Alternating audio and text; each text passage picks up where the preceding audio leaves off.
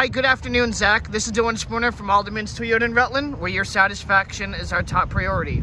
In front of us, we are going to be looking at the 2023 Toyota GR86 Premium, and this one is equipped with the manual shift. To jump right off, this vehicle was redesigned in 2022. Um, Gazoo Racing has took over this vehicle model, um, so we're going to be going over some new things. To start off, mechanically, it's equipped with a 2.4 liter um, boxer engine that puts out 228 horsepower, which is um, plus 28 from the previous model. And for those who do not know, this is a rear wheel drive vehicle, which um, this vehicle in the Supra is the only one left in the lineup um, for rear wheel drive cars. To start, and also um, to note, uh, the customer has requested for no plastic to be taken off um, and to not wash the car. Um, but you can see uh, this is finished off in pavement.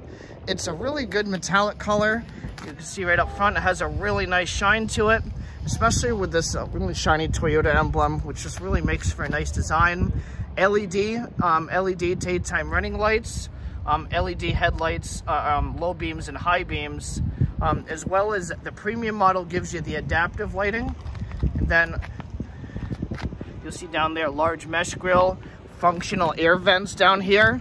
And I love the little GR badge that you have right there. And then I like how the skirt goes all the way across and it has a lot of nice body lines from one on the top of here.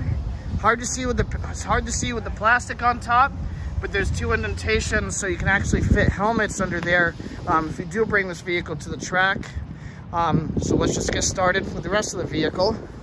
If we wrap right around the side, the premium model gives you these really nice looking black alloy wheels and this is an 18 inch wheel and you get the Michelin Pilot Sports. It's a really hot sticky tire um, and it, it, really gives this car um, the jump on handling versus the base model of this car. Before we continue, here's a nice sharp look of the car. And then when you open it up, it does have keyless entry. And you open this up immediately, um, you'll see the suede material. You're gonna see this everywhere inside the material of the car. Then you'll see there's the controls. And like I said, you're gonna see a couple different materials being used. But before we hop in, I'm not gonna remove too much of the plastic, but here's some more of that suede that you'll see. You'll see it has a nice texture, has a nice design, and the bolstering is very comfortable in this car. And it is a manual seat too, but hopping right in. You'll see the window slide up so it doesn't shatter. And then here's the GR start button right there. Make sure you're neutral. Here's your startup animation right there. Then you'll see your infotainment screen, Apple CarPlay or Android Auto, which is it's still plug. Um, and then standing behind the wheel, you can see GR logo right there. You can control the dimming right here too, but as well as has a tire pressure monitoring system, see how it gives you a few different screens which you can all customize and stuff too but you can leave on your distance till empty. Um, there's your voltage and then your oil pressure. Down here you see has aluminum sport pedals which are really comfortable too and really easy to shift. And down here you do get dual climate control. There's your climate right there short throw knob right here, It's really comfortable, really easy to shift. And then down here, you have a track mode, which take off the traction control and limited slip differential. And you can put it right back to normal mode, and then there's your regular track mode off too, if you're just trying to get out of something small. And then with the premium model, you do get the heated seats. You get two cup holders right here. You press the button, it'll come open. And then you'll see there's the Apple CarPlay port with auxiliary. And then cup holders in each door, which seem to be the most functional one, most accessible one. And then just one quick rev before we get out. That Boxer engine really has a pleasant exhaust note. Get right out. Is that window. Just slide up just like that.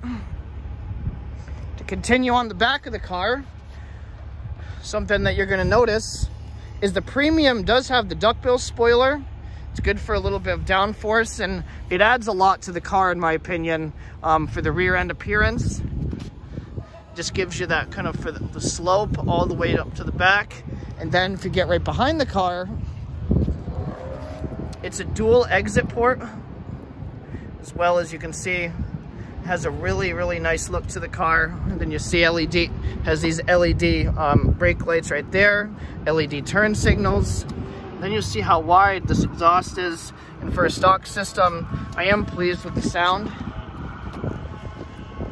And then again, here's another sharp look at the car.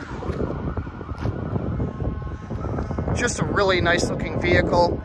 If you're looking for a fun vehicle to have in the summer, um, equipped with an automatic or manual shift, um, there's a lot of fun to be had in this vehicle. And again, Zack, I just want to say thank you very much for your inquiry. If you'd like to learn more, there's going to be a link below. If you're on YouTube, there's going to be a link in the comments section, or you can come see it yourself with Alderman's Toyota in Rutland.